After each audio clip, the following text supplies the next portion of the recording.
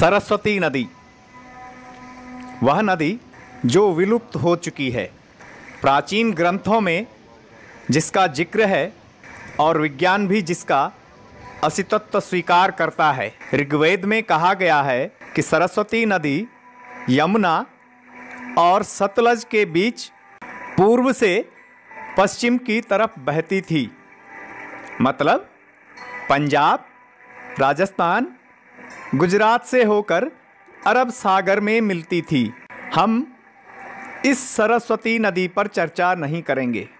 हम उत्तराखंड की उस सरस्वती नदी से आपका परिचय कराएँगे, जिसका आप आज भी दीदार कर सकते हैं। उसके कोलाहल को सुन सकते हैं और उसके निर्मल जल से अपनी प्यास बुझा सकते हैं। तो फिर देर किस बात की? जानते हैं इस सरस्वती नदी के बारे में। उम्मीद है कि आपने अपना यह प्रिय चैनल घसेरी सब्सक्राइब कर लिया होगा। सब्सक्राइब कीजिए घसेरी चैनल को और बेल आइकन दबाइए नए वीडियो देखने के लिए। आपने माणा गाँव के बारे में सुना होगा। वही गाँव जिसे भारत का आखिरी गाँव कहा जाता है। इसी गाँव के पास में बहती है सरस्वती नदी। अपने दर्शन देकर अलकनंदा में समा जाती है सरस्वती नदी। पौराणिक कथाओं के अनुसार सरस्वती नदी अलकनंदा में समाती नहीं, बल्कि विलुप्त हो जाती है। और फिर प्रयाग में जाकर गंगा और यमुना से मिलती है।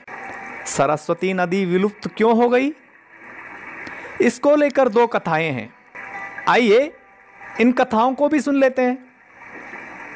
माणा गाँव के पास सरस्वती नदी पर पत्थर से बना पुल है। इसे भीम पुल कहते हैं। कहा जाता है कि जब पांडव स्वर्गारोहिणी के लिए आगे बढ़ रहे थे तो द्रौपदी सरस्वती नदी को पार नहीं कर पाई।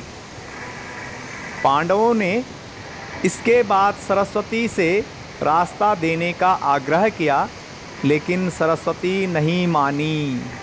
पांडवों में सबसे बलशाली भीम ने तब दो बड़े पत्थर लुढ़काकर पुल बना दिया था।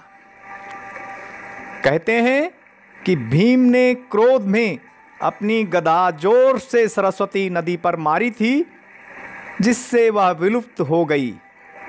यह नदी थोड़ा आगे बढ़कर जब अलकनंदा में मिलती है तो वहाँ पर ऐसा आभास होता है, जैसे कि यह विलुप्त हो रही हो। सरस्वती नदी के विलुप्त होने के पीछे एक और कहानी है। पौराणिक कथाओं के अनुसार व्यास ने सरस्वती नदी के करीब स्थित गुफा में महाभारत का सृजन किया था। व्यास के आग्रह पर भगवान ब्रह्मा ने भगवान गणेश को महाभारत लिखने का काम सौंपा था। गणेश जब महाभारत लिख रहे थे तो सरस्वती बड़ा शोर करते हुए बह रही थी। गणेश जी ने उससे शोर कम करने को कहा, लेकिन सरस्वती नहीं मानी। इससे क्रोधित होकर गणेश ने सरस्वती को विलुप्त होने का श्राप दे दिया था। ये तो थी सरस्वती के विलुप्त होने की पौराणिक कहानियाँ। सरस्वती नदी का उद्गम स्थल देवताल है और माणा में भीम पुल के पास यह पूरी गर्जना के साथ बहती है। भीम पुल में संभल कर चलें तो बेहतर है। सरस्वती नदी के तट पर ही सरस्वती का मंदिर और दो दुकानें हैं। इन पर लगे बोर्ड पर बड़े बड़े अक्षरों में लिखा भी गया है, हिंदुस्तान की अंतिम दुकान। यहाँ से आप सरस्वती नदी का जल भी अपने साथ लेकर जा सकते हैं।